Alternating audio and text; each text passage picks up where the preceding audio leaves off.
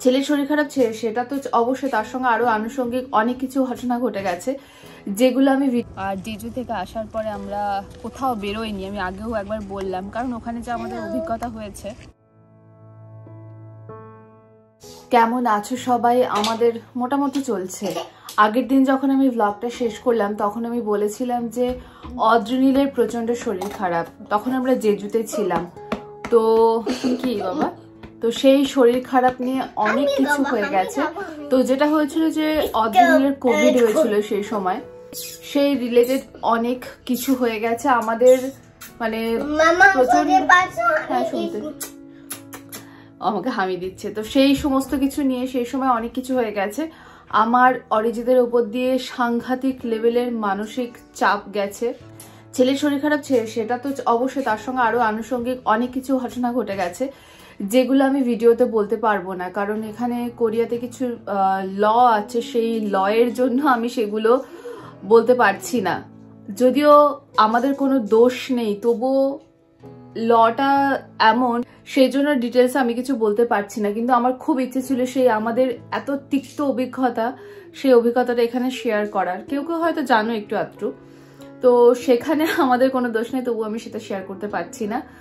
তো যাই হোক সেটা নিয়ে এতদিন একটা মানসিক চাপের মধ্যে আমরা ছিলাম। ছিলাম বলাটা ভুল, আমরা এখনও আছি।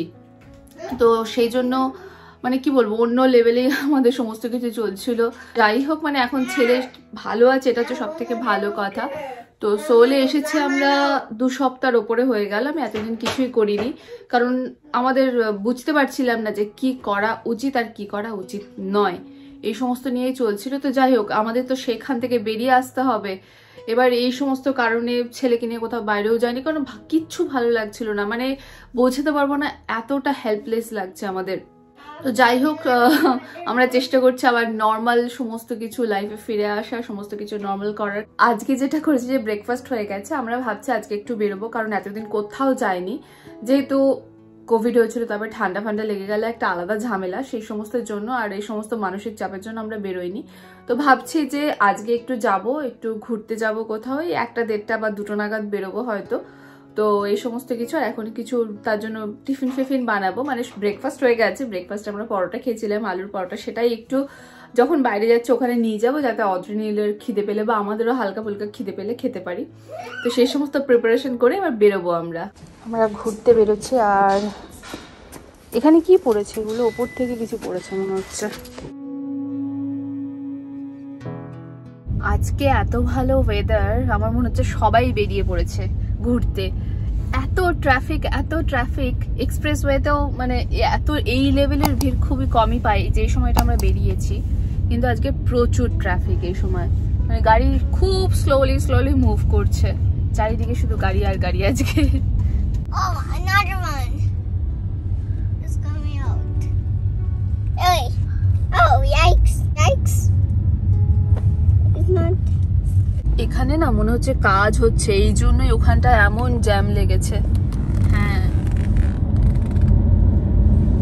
দূরে ওই যে দেখা যাচ্ছে ওটা ওটা হচ্ছে লোতে টাওয়ার ওটা হচ্ছে ওয়ার্ল্ডের ফিফথ টলেস্ট বিল্ডিং না হ্যাঁ বোধহয় ফিফথ এদিকটা দেখা যাচ্ছে লোতে টাওয়ার আর এই দিকটায় দূরে দেখা যাচ্ছে সোল টাওয়ার এখান থেকে লোতে টাওয়ারটা পুরো পরিষ্কার দেখা যাচ্ছে, একদম পুরোটাই দেখা যাচ্ছে অলমোস্ট আমরা চলে এসেছি আর মাস্কটা খুলিনি তাহলে শোনা যাবে। তো আমরা সোল গ্র্যান্ড পার্কের এখানে এসেছি, কিন্তু ভেতরে যাচ্ছি না, আমরা জাস্ট এমনি আজকে একটু হাঁটাহাঁটি করব, এই জন্য এসেছি। আর গাছগুলো ফল কালার চলে মানে এই গাছগুলো পুরো শুকিয়ে গেছে, পাতাগুলো অরেঞ্জ একটু ব্রাউন কেমন একটা অদ্ভুত সুন্দর কালার হয়েছে। আর যে ইয়েলো কালার হয় সেই পাতাগুলো অলরেডি ঝরে গেছে। আরেকটা গাছ হয় যেটাতে পুরো লাল লাল পাতা হয়। সেই হ্যাঁ? লাল লাল কালার হয় সেই ওই কালারগুলো এখন হয়েছে ওই দিকটাতে তো রেড কালারটা এখন খুব সুন্দরভাবে দেখা যাবে। আর কি অদ্রিনীল বসার ওই মাদুরটা ওইটা ও নিয়ে যাবে। ওই যে কি? শেডে যাচ্ছে। কোন শেডে আমার ছায়াটা পড়ছে। আচ্ছা তোমার ছায়া পড়ছে সেই ছায়ার উপর দিয়ে হাঁটছে। ও। No, no, no. no, don't do that. Oh অদ্রিনীল এখানে শুকনো পাতাগুলো নিয়ে সবার গায়ে দিচ্ছে। এখানে এখনও গাছের এটা আছে খুব সুন্দর লাগছে। এই শোনো না তুমি আমি একসাথে একটা ছবি তুলি. তুমি আমি একসাথে একটা ছবি তুলবে এখানে দারুণ লাগছে দেখতে।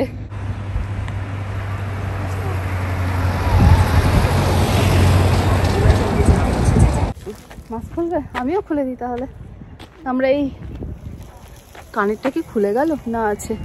জলের এই পাশ থেকে এখন হাঁটছি। আর আমরা ডিসেম্বরে একবার এসেছিলাম। ডিসেম্বরে। ফার্স্ট জানুয়ারি ফার্স্ট জানুয়ারি না সোল গ্র্যান্ড পার্কে ফার্স্ট জানুয়ারি এলাম না সেই আমরা যেতে আচ্ছা, পারলাম না। হ্যাঁ। আর তার আগে একবার এসেছিলাম অনেক দিন আগে। তো তখন এখানে এই জলের কোন সাইডটা গো? ওই সাইডটা বোধ হয় তো ওখানে বসে বেশ অনেকটা সময় আমরা কাটিয়েছিলাম। এখানে বসলেও হয় হ্যাঁ? ও খেলতে পারবে। এখানটাতেই বসো নাকি? হ্যাঁ এখানটা বেশ ভালো লাগছে। তো ভাবছি এখানটায় বসবো। হ্যাঁ ওকে খাইয়ে নিয়ে একটু তারপরে দিকটা যাব। দেখ বাবা, কত লাল লাল পাতা পড়ে আছে। ও হ্যাঁ এই জায়গাটা বেশ ভালো। এই গাছটাও বেশ সামনে আছে, ভালো ভিউ এখানটাতে বসার জায়গা, রোদটাও আসছে। ফটোও ভালো আসবে। কি খাবি. ও চিনি মুড়ি খাবে মানে জল মুড়ি। আমি পরোটা বানিয়ে এনেছি, আর জল মুড়িও নিয়ে এসেছি, কারণ ও ভাত খেতে চায় না বাইরে বেরোলো, ওই জন্য আমি পরোটা নিয়ে আসি। তো জল মুড়িটাও নিয়ে আসি, কারণ কিছু না খেলেও জল মুড়ি খাবে, আমি জানি। কি করছিস বাবা? এখান থেকে পাতাগুলো নিয়ে নিয়ে এখানে দিচ্ছে। হ্যালো, বলছি তো তখন। যেই যাচ্ছে অদ্রিনীল সবাইকে একবার করে হ্যালো বলছে। আর জেজু থেকে আসার পরে আমরা কোথাও বেরোইনি আমি আগেও একবার বললাম কারণ ওখানে যে আমাদের অভিজ্ঞতা হয়েছে তারপরে হ্যাঁ সবাই শুনতে পাচ্ছে। মানে. কে হ্যালো বলছে তো কেউ কেউ ওকে রিপ্লাই দিচ্ছে কেউ কেউ রিপ্লাই দিচ্ছে না সেই জন্য ও বলছে শুনতে পাচ্ছে? তো টেম্পারেচার চেক করিনি মনে হচ্ছিল ঠান্ডা খুব একটা নেই। এখন দেখছি উনিশ ডিগ্রি টেম্পারেচার এই সময় এত বেশি টেম্পারেচার থাকে না কিন্তু। তো এবছর অনেক লেট উইন্টার আসছে মনে হচ্ছে না? অনেক দেরি হচ্ছে। প্রত্যেকবার এই সময় ভালো ঠান্ডা পড়ে যায়। আর প্রথমবার আমরা যখন এসেছিলাম না সিক্সটিন্থ নভেম্বর ফার্স্ট স্নোফল হয়েছিল। আজকে কত তারিখ? বারো? চোদ্দ তারিখ। হ্যাঁ, আজকে আঠেরো তারিখ মনে আজকে আঠেরো তারিখ? হ্যাঁ। জানি না।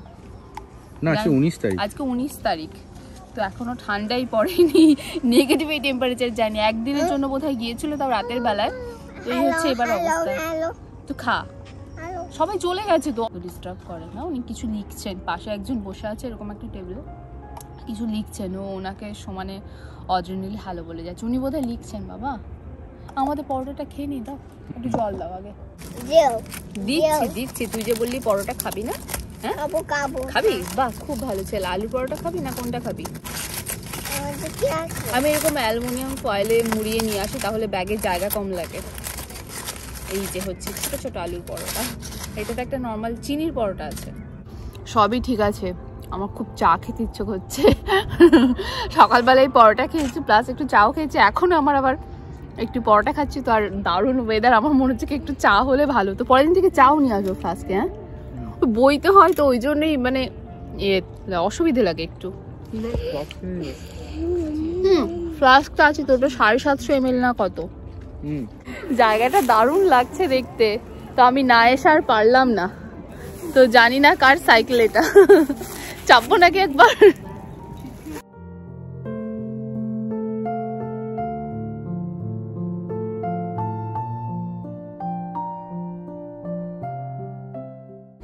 পপকর্নের গন্ধ আসছে গো। হ্যাঁ। তো ফল প্রায় শেষের মুখে মানে প্রত্যেক বছর এই সময় শেষ হয়ে যায়। দারুণ লাগছে দিকটা সানসেট হবে।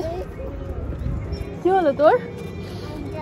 আমি তো পপকর্নের গন্ধে পাগল হয়ে যাচ্ছে। কোথা থেকে আসছে ওই সাইডটা মনে হচ্ছে? ওই সাইডে সমস্ত রাইডগুলো আছে না? এইখানটায় হচ্ছে এন্ট্রি না? সোল ল্যান্ডের মানে ভেতরে সমস্ত রাইডগুলো আছে। পাহাড়টা দারুণ লাগছে দেখতে। কালারগুলো আমার মনে হচ্ছে কিছুদিন আগে আরও ভালো ছিল। এখানটায় হচ্ছে রোপওয়েটা আর ঠান্ডা অল্প অল্প আমাদের লাগছে। সন্ধে হয়ে এসেছে তো। তাই জন্য সোয়েটার পরে নিলাম। আর রোপওয়েটাতে না কি বলব আমার অদ্রিনীলকে নিয়ে চাপতে একটু ভয় ভয় করে কেমন জানো একটা এটা? আর অদ্রিনীলও ভয় পায় ওই জন্য আর অত জোর করিনি ওকে। যাবি? যাবি?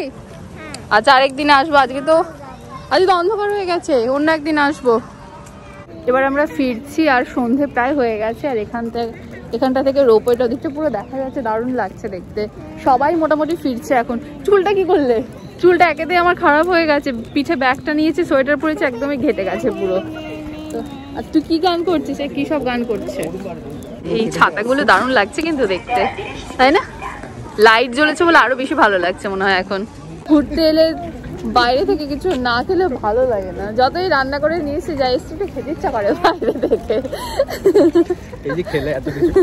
তবু তবুও খেতে ইচ্ছা করে। অদ্রি নিলে আমার দুজনেরই সেম এখানে চিকেন পাওয়া যাবে তো চিকেন দিয়ে চিকেন না অন্য কিছু খাব দেখি যাই। আর এই হচ্ছে আজকে পার্কিং এর অবস্থা মানে পুরো ফুল। পার্কিং পেতে আমাদের অনেক খুঁজতে হয়েছে আজকে। ওয়েদার ভালো সবাই চলে এসেছে। লাস্ট উইকে বৃষ্টি হচ্ছিল ওই জন্য কেউ বেরোতে পারেনি। আর এই উইকে বৃষ্টি বৃষ্টি নেই দারুণ ওয়েদার ঠান্ডাও নেই সবাই চলে এসেছে একসাথে ঘুরতে পুরো। এখন বেরোচ্ছি আমরা চারিদিকে লাইট টাইট সমস্ত কিছু জ্বলে গেছে। আর অরিজিতের জন্য ওয়েট করছি। ওই যে অরিজিৎ আসছে আমাদের মনে হচ্ছে খুঁজে পাচ্ছেন আমরা ওই দিকটায় দাঁড়িয়েছিলাম। দেখি কতক্ষণে দেখতে পায় হ্যাঁ হ্যাঁ পেয়েছে মনে হচ্ছে দেখতে এবার।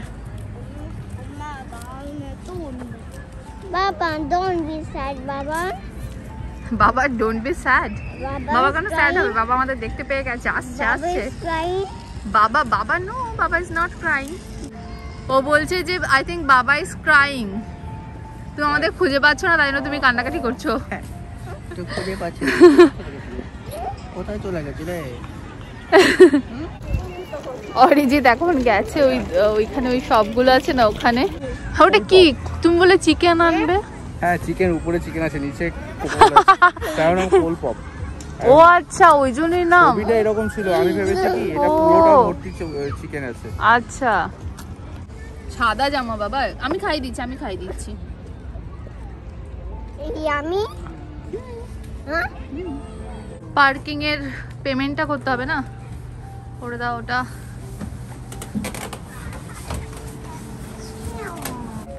তো পার্কিং মোটামুটি এখন খালি। সবাই এখন ফিরছে, এখন আবার রাস্তাতে জ্যাম পাবো। হ্যাঁ? আজকের ভিডিওটা এখানেই শেষ করছি। তোমাদের সঙ্গে দেখা হবে নেক্সট ভ্লগে ততক্ষণ পর্যন্ত সবাই ভালো থেকো। টাটা!